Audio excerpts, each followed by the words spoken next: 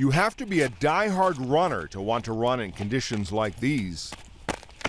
For Becca Pizzi, dodging packed snow, ice, and pedestrians isn't just about staying in shape. I'm training for my 42nd marathon, my 11th consecutive Boston Marathon. A tough slog any year, made even more difficult by the bone chilling temperatures and near record amounts of snow in the Boston area this winter. Snow that's piled up everywhere. It's incredibly important that we can't see the cars, oncoming cars, and they can't see us. So we have to come to a complete stop and make sure that we see each other. With the Boston Marathon just seven weeks away, runners say their training regimen has been limited by the snowpack. Almost every run that I've been on for the last month and a half, I've seen somebody fall. Not only am I not able to run as fast as I want to in training, it's harder to just run the distances that I want to. Peter Horning has taken some of his routine indoors. I've had to do some of my runs on the inside on the treadmill, which I really hate doing. So why do these runners do it?